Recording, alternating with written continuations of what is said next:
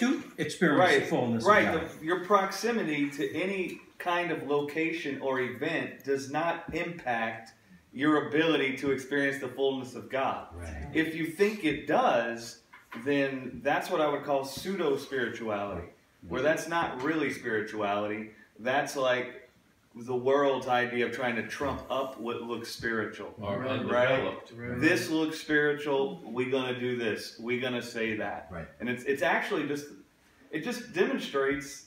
And listen, every single one of us have been there before.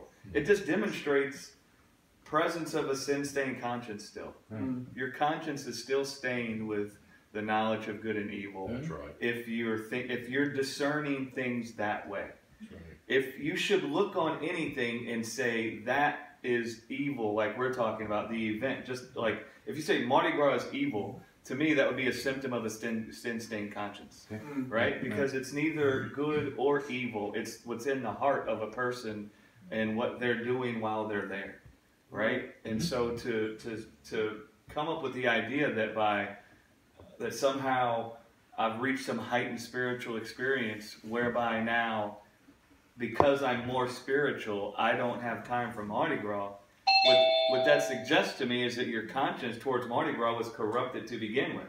The problem is, is your conscience, Right. not the Mardi Gras. And if you think you've reached a heightened level of spirituality because you're abstaining from Mardi Gras now, I would say you still have a problem with your conscience. And so it would actually demonstrate that your your spirituality is in the same place as it was before. Right? It's just now you're trying to outwardly, right? You're saying my outward thing is is different.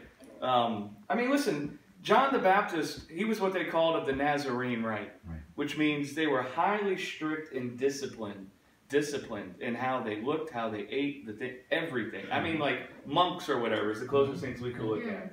Highly disciplined, right? Well, Jesus come, and they called him a wine bibber and a glutton. Right. Mm. So you had John, not John the Baptist who wouldn't eat or drink anything, nothing, and they rejected him. And now you got Jesus comes, and Jesus is eating and drinking with the people, Right. and they called him a wine bibber and a glutton, Mhm. right? So e- this, either way, the religious mind will find the problem either way, Sure. right? You- the- and that's the whole point. The religious mind will always find the problem, but the problem is in the mind. that's the problem, mm-hmm. right? It's a conscience stained by sin. Are, are there some people at Mardi Gras that have the wrong thing in their heart? And absolutely. But there's some people riding on the road today that have the wrong thing in their heart. I'm not going to be now more spiritual if I don't get it, go get out on the road with them. Yeah. Can't go to work. Couldn't go to work. Right. I mean, You sure can't go to church. you definitely can't go to church. Yeah, that's right. Somebody might have the wrong thing in their mind. You definitely can't go to church. Maybe even Wednesday night. What's, Ooh, what's it's getting hot in here. What'd you say? I, I was, I mean, while Greg was speaking, I was thinking about that scripture about, you know, I, I sang you a, a dirge. Mm. You what? Yeah, I sang you a funeral procession, Yeah, and then Lord I said. came celebrating, and you still. Oh, yeah, yeah, yeah. Uh, I mean that. That that's what came to my mind. this is, while this is you- what's cool about that statement. He said, to what can I compare this generation? For John the Right. Baptist came not eating and drinking, and. I came eating and drinking. You Yeah. called him, uh, said he had a demon. You say I'm a glutton and a wine bibber. Right. But he, and then he goes on to say, to what can I compare this judgment? It's like we sang a song for you Right. and you didn't dance, That was the rest and we of sang a dirge and you didn't mourn. So in other words, there was no, there's no answer for these people. Right. But but right. Right. he said, but wisdom, speaking of himself and John, John the Baptist, he said, but wisdom is justifier of her children.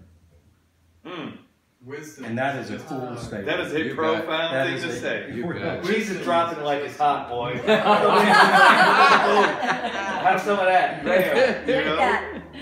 It's so it's so interesting though because like